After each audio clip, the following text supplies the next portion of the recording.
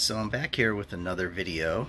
Uh, this is the last video of this F2 female. This is her second clutch. She double clutched this year and I didn't actually try to do that. Um, she apparently retained some sperm and had a it looks to be another good clutch of five eggs I believe there might be one stuck up here I can't tell just yet since she's in the process of laying this last egg, but you can see she's pushing it towards the cloaca. It's just about to come out.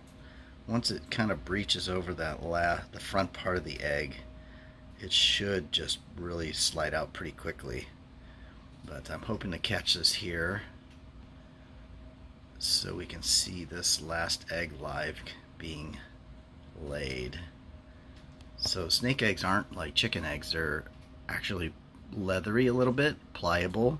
Um, they have a little bit of glue on them. Oh, there it is. So it's she's about to maybe a couple more pushes. She'll get that out. But and this is basically the second clutch, as I mentioned.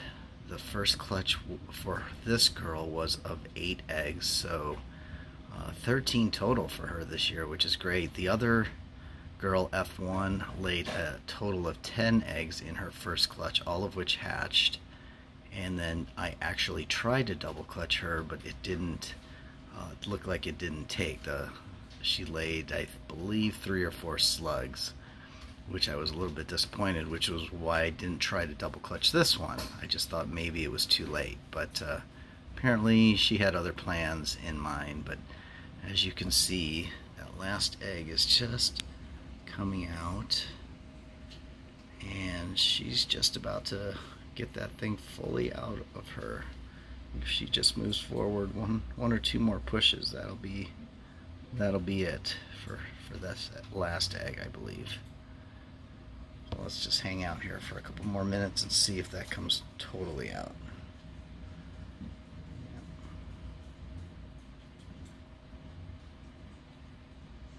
It's always super cool to see eggs being laid.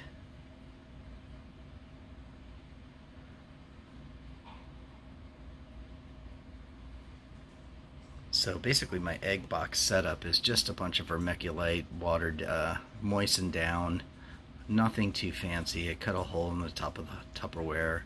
Uh, does create a bit of a mess. She likes to, they normally like to track around, try to, what they're doing is mimicking uh, nature where they're trying to find a suitable spot and obviously the damp the damp uh, texture of the vermiculite is is where they normally try to seek out in the wild.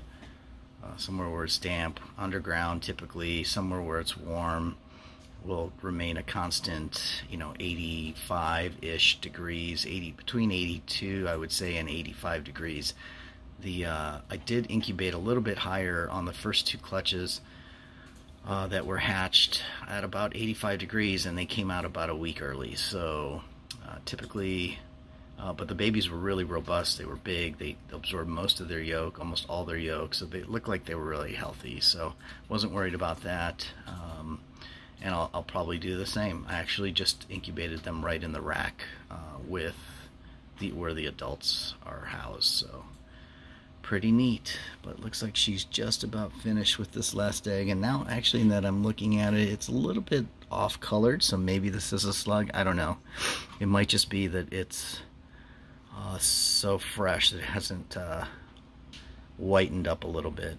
Calcified I suppose is uh, what it what it does. But anyway that's the video for this second clutch for this Mexican black king snake female F2 uh, Uh, thank you for watching our video.